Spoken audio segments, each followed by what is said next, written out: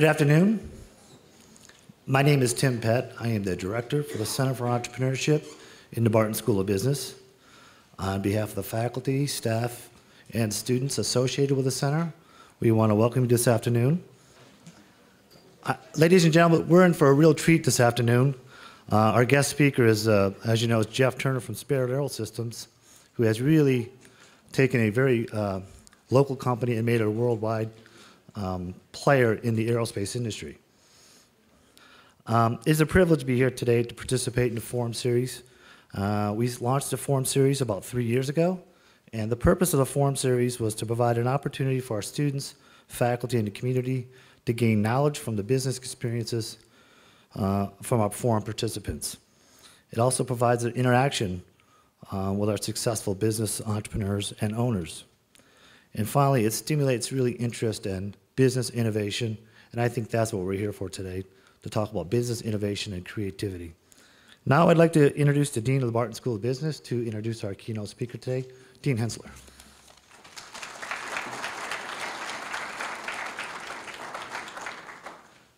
Well, thank you very much.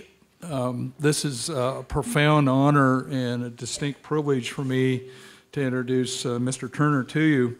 Jeffrey L. Turner was named president and CEO of Spirit Aerosystems Incorporated in June of 2005 upon divestiture of the Boeing Commercial Airplanes Wichita division. Prior to that, Mr. Turner served as vice president, general manager of Boeing's Wichita division since November of 1995.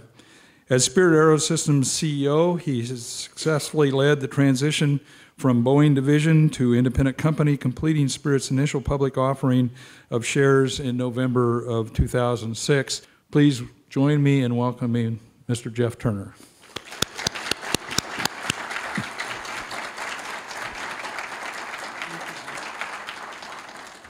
Thank you, Dean.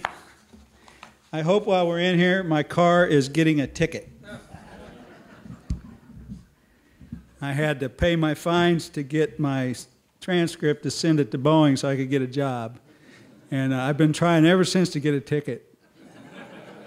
but now that it, they have nothing to hold over me, they won't give me a ticket, regardless of where I park. I haven't tried parking in the Dean's parking spot yet, but that might help. Um, it is a pleasure to be here today. If you'd have told me when I was a student here that I would come back as a uh, featured speaker, I, I probably would have argued with you and said, no way, on two accounts, no way I'd have anything to say, and no way they'd ever invite me. But uh, I am extremely proud of Wichita State University. I, uh, I did uh, have the privilege years after I'd graduated here to be a student at, at MIT, and I went to MIT scared to death because I looked at the roster of students who would be in my class in an executive MBA program, and they were from big name schools everywhere. And uh, I mean, Harvard and Princeton, and, and uh, there's a pretty big school in England. I forget the name of it. But it was on there, and I mean, just people from, from everywhere. And I thought, you know, how can a kid from Wichita compete? Um, so I was scared to death. But I got into the class, and and uh, worked hard and discovered within just a few weeks that the education that I had received at uh, Wichita State University was not only probably the most economical education of anybody in the class, but it was equivalent to any education that any of my peers had received. And I was thoroughly and completely prepared to compete on the world stage. So when you tell people that you are a graduate of Wichita State University, you can rest assured that whether they recognize the university or not, that you have an equivalent capability to anybody in the world because we have a great university here that prepares us to, uh, to meet the challenges. It used to be the 20th century, and now, of course, the 21st century. Um, I want to acknowledge somebody else, a very important person to me, wasn't till this morning, but Bill Wilson from the Eagle. Bill, are you in the room? Where are you? Right there. Bill published, and here, here's a feature. It says Turner to be featured in Wichita State Forum. He put that on the web this morning, and our stock jumped 10% today. so if you'll invite me, Dean, I'll be back every day for at least 30 days. It is a, it is a, a pleasure to be here. My, my task today is to talk about being innovative and creating, creative within a, within a company. And uh, I do want to acknowledge uh, Dr. Pett and thank, thank you for the invitation and, and, and the preparation. I will try to address this subject. I know uh, those of you who are students here or have been are used to some, some great lectures with, with good content and, and good structure and, and uh, the ability for you to take something of value away. Uh, so I'm not going to try to duplicate that. What I'm going to do is try to just tell you the story of what we did at, at, at uh, Boeing Wichita to turn it into uh, Spirit Aerosystems, and maybe there's a few nuggets along the way. Um, and so I'll, I'll just start by talking about this whole idea of corporate entrepreneurship, of being innovative and being creative within a big company. Now, big companies, and Spirit is nowhere near as big as Boeing was, or when we were part of Boeing, but Spirit is still a pretty good sized company uh, with thousands of people and lots of processes and so on.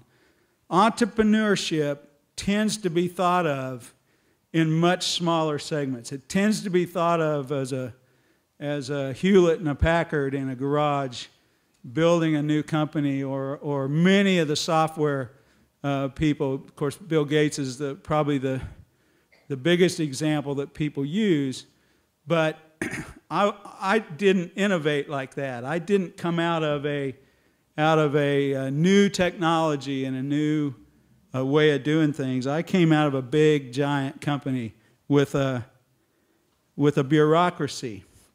As I was preparing these remarks, I thought, you know, successful entrepreneurs develop bureaucracies in their companies or they die.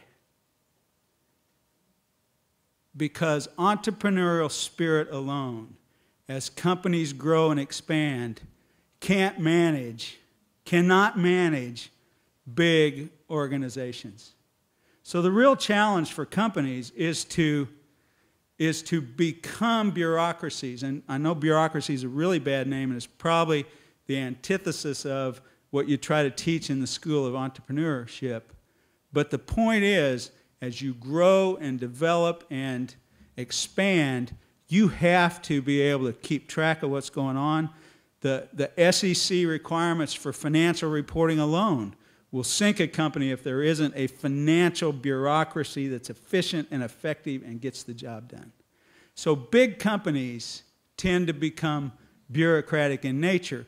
And the challenge is how do you create a culture and a capability so that the fact that, that the organization is bureaucratic doesn't stifle the, uh, the creativity and the capability of the team. And that's a real challenge. So I'll talk a little bit about what we've tried to do to, uh, to nurture that kind of culture inside of, uh, of spirit. Another thought that I, that I wanted to leave with you is this whole idea of being an entrepreneur within a big company. I think about it as creating an environment where there, are, there is freedom within a set of constraints. Now, I guarantee you that any entrepreneur that you want to talk about or think about that has been successful has done that within a set of constraints. Probably financial beyond anything else, but certainly within the, within the constraints of the laws of, uh, of nature, the laws of the land, the laws of uh, thermodynamics, whatever. So, so constraints within a big company are a real and, and, and vital part of organization. And the real key is to create an environment where people are more focused on the freedom they have within those constraints and, frankly, the willingness to test those constraints. from time to time. And, and be able to do that in a way that they, they don't focus on the constraints. They focus on the, uh, the freedom that they have within those constraints.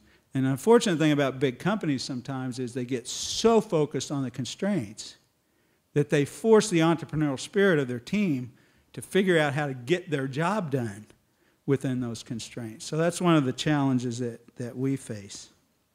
You know, historically, we live in a city with, uh, with a real entrepreneurial spirit. For our particular industry, of course, the names that, that leap out are uh, Cessna, Beech, Learjet, Stearman, although most of us don't remember Stearman. It became Boeing in 1929.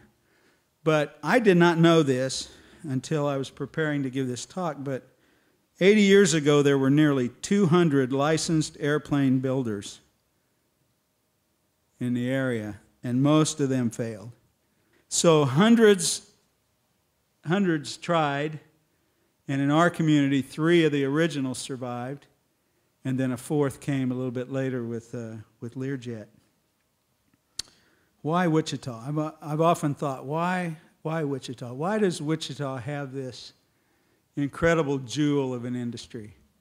Um, I think, you know, clearly the entrepreneurial spirit's part of it, but from my perspective, we have a, we have a great workforce and a great work ethic. We had money when we needed it. And then I think timing. You know, you can be really smart and really capable. If your timing's off, you're off. And I think if you go back and look, the, the age, just like I have this theory that, that people like Stephen Jobs and, and uh, other people in, in that industry, if they'd have been born just five years later, they'd have been too late. You know, I, I joined Boeing in uh, a long time ago, 19, 1973, right after one of the biggest downturns in our industry. There were, the, the company, we went down to 4,004 employees from 35,000 at the peak in the, in the B-20, uh, in the B-52 and B-47 production days. And I joined the company right after the big dip I was one of the first ones back in the door, part time computer programmer. Somebody asked me a few years later, How in the world did you progress so fast through the company? When I hired in at that time, most of my coworkers were in their late 40s, early 50s. And the company then went through a period of time where they hired about 10,000 people in 10 years. If you could find your way to the bathroom, they'd put you in charge of something. Okay? So if I'd have been born five years later, and I'd have joined that group in mass, you know, the opportunity wouldn't have been there. So I think there's a lot to do with when the opportunities present themselves and the timing and so on. I think Kansans are also adaptable. I mean, clearly these guys, Cessna and Beech and Learjet and so on, everything wasn't rosy, everything wasn't easy. They had to adapt. They had to adapt to funding. They had to adapt when, uh, when the war came along, and of course that was timing as well that helped a fledgling aircraft industry when thousands and thousands and thousands of airplanes were required. And, uh, and then I think there's some good fortune. Let me jump to why we did this. I think that's, a, that's an interesting uh, set of dynamics. I've been with the company, as was mentioned, over 30 years with Boeing. I had become the general manager of the division in 1999. A lot of things that occurred in, in our industry and in this town between the time of Clyde Cessna and Walter Beech and Lloyd Stearman. And, and uh, 1995, the world had changed uh, dramatically. Companies that grew up were very highly vertically integrated. They do virtually their own parts build, their own design, their own parts building, their own assembly, and so on. The industry had shifted to where the OEMs in general were, uh, were focused on the customer, on designing new products, and supporting products that were in the fleet, and we're, begin, we're moving more and more to where they depended upon a, a partnership in the supply base for the design and build of components like the Wichita division of Boeing was designing and building.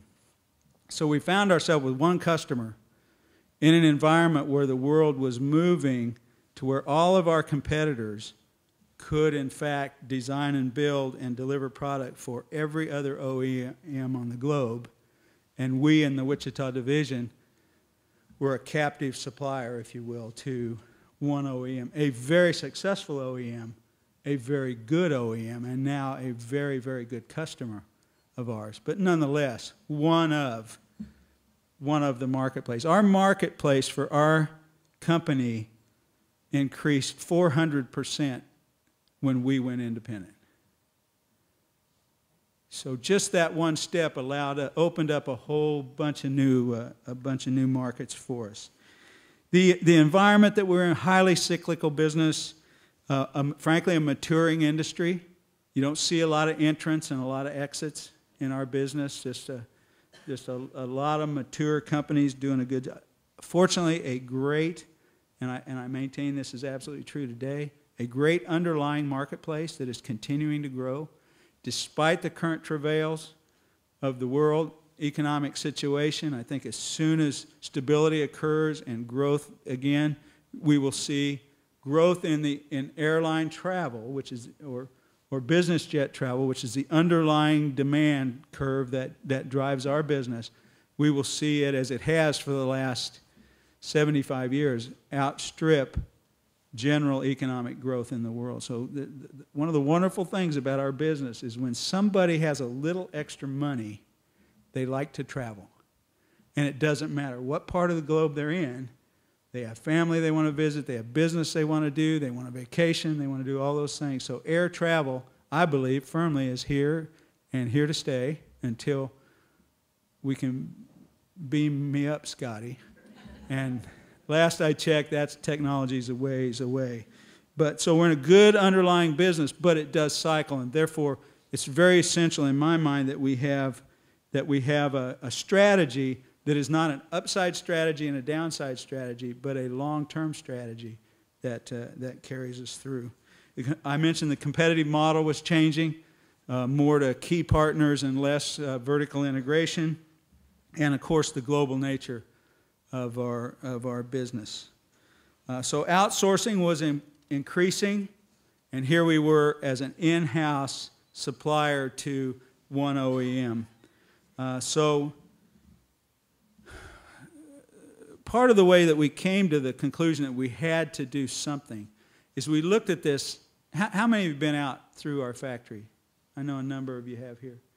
You, I, I grew up kind of in the factory for 31 years and kind of got used to the idea. But I tell you, if you see it for the first time with new eyes, it is an awesome place.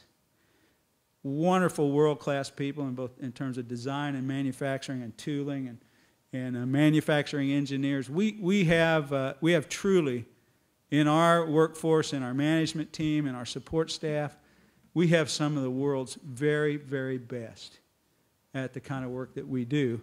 And we had that, and, and frankly, my fear was if we didn't do something different strategically, that we would in fact see that capability dwindle away. And, uh, and, and part of the reason for that is that, as I mentioned, the OEMs were, were more and more focusing on customer, product, and product delivery and support, not the detailed design of the airplane parts themselves. And as we began to compete for positions on the 787 or on any other new airplane, as it's turned out now, the A350, um, Cessna airplanes, and Gulfstream airplanes, and Sikorsky helicopters.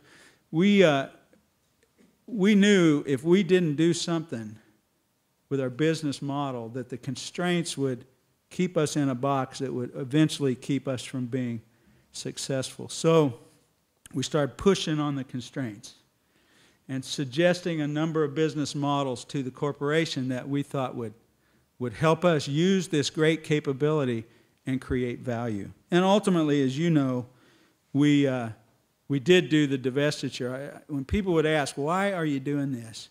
And when I say people, oftentimes it'd be our own employees saying, why would we do this? We're kind of comfortable being part of Boeing. We've been part of Boeing for 80 years, 75, 80 years. Why would we change? When I look for, for the Wichita division in the Boeing strategy, I think of strategy like a bullseye. I didn't find what we did in the center, the bullseye of the strategy. We were important to them.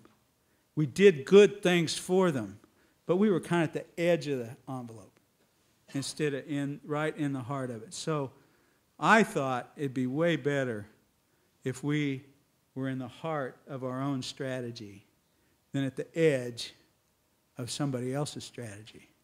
And so we, we went through a number of things that we tried a number of things. We tried a wholly owned subsidiary approach. We looked at, uh, at some other approaches. And ultimately, uh, ultimately, what occurred is what you know, and that is that, that the decision was made within Boeing and within what became Spirit to divest the company. I, I think it was one of the biggest win win uh, certainly win-win strategies that I, certainly the biggest that I've ever been a part of. We, uh, we bought the company. We unleashed a great deal of value.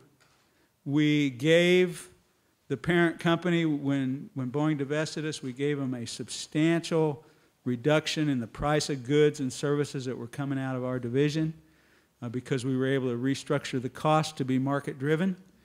And, uh, and then, of course, we, in our, in our uh, IPO and in a secondary and, and in, our, in our company today, we're still able to uh, create uh, value for the, for the future. One of the things we've done really, really aggressively is make sure that our team understands our basic strategy and our core operating values. Our basic strategy is long term value creation. And I emphasize long term because the products and services that we deliver are long term products and long term services. We are a, a, key player on the wonderful new airplane, the 787. And that airplane, your grandkids will take their kids on vacation on 787 airplanes. And we, and we are putting in place in our factory the tools and methods and processes and designs that will deliver those products for decades. That is not a typical business model. You know, so if I, if I speak with investors or I speak with people who, who want to know what are we going to do next quarter, I have a difficult time with that concept. Because the only way I can really affect next quarter is to either screw something up or get lucky. Because the fundamentals of our business are long term products, good, solid market leadership, and a continual, steady um, um, environment of innovation and improvement in our, with, our basic, uh, with our basic processes. So, long term value creation, be a partner of choice in the industry. And I think we've, uh, we've been able to show that that's what we are with uh, the success we've had with new customers and then the values are really, really, really important to me. They're, they're values that, that I live by personally, and they're values that I expect everybody in spirit to live by. And it's being focused on the customer, it's being market driven. As much as I would like to di- dictate what the value of our products are, I cannot. The market will tell me what the value of Spirit's products are. The market tells us what the value of a workman's hour is, what, a, what an, an engineering, what, what her value is worth for an engineering hour. The market tells us what, uh, what pay and benefits are, are appropriate to the market, and we have to respond to that if we're going to be successful. So remember, we had moved out of an environment where we were a cost center, and we're now right on, that, right on the edge every day of you know, dollars in, dollars out, and managing that uh, much more closely. So being very attuned to the market was very important to us. A demand for excellence. Uh, we believe firmly, and I say this all the time, our team says it all the time, on a person by person basis, we have to be better than the competition. And because uh, if we're not, the fact is there's a lot of people out there that would love to have these jobs in this business. I believe very firmly in dignity and respect for everybody. I think that drives the relationships that you have. I'm not talking about being overly nice. you know, frankly, one of the one of the challenges that big companies have is that sometimes they harbor poor performance. It is neither dignifying nor respectful to force a work group to have to work with with a coworker who is not pulling their own weight. So dignity and respect is the way we treat each other and the way we act together. It it it's about uh, not being prejudicial against somebody for for any reason other than performance and it's, uh, it has to do with very much the interactions that we have with our, with our partners and with our customers and, uh, and with each other. And then, of course, the last value, the fifth value, is teamwork, which, uh, which I don't know about you, but I don't, I don't know how any organization performs if they don't perform well as a team, working effectively together. So those are the values we put in place to create the, the framework, if you will, if you will, under which our team could have the freedom to do what everybody in every organization wants to do, and that is to be successful in the marketplace, do an excellent job of performance, and to see the rewards in a way that they can be, they can be shared. So, in conclusion, I would tell you that I think we've been extremely lucky. I define luck as preparation plus opportunity plus perspiration. So without any of those, without the opportunity, we wouldn't have been able to be a successful company. But without preparing ourselves for it, and, and I could bore you with many details about the way we messaged the whole thing for a number of years to get ready for, we didn't know what, frankly, but we knew we had to move from a, from a, an environment where people felt entitled to their jobs to an environment where people felt their job was to protect their company and to make their company successful. And uh, we, we spent a lot of time and a lot of energy messaging that when we were still part of Boeing, before we even had a gleam that we would become a, we would become a spirit. And, um, and of course, opportunity. Right time, right place is so important. You know, the book of Proverbs says there's a time for everything. And one of my favorites is, and I'm not even sure this is in there, but I say there's a time to buy and a time to sell. And then, of course, the whole idea of getting everybody on your team to ask a fundamental question What if? What if we did this? What if we tried that? Because one day we were sitting around and we said, What if we were independent? What if we were our own company? And that was the seed that became a spirit. So thank you very much, and I'll be glad to try to answer your questions.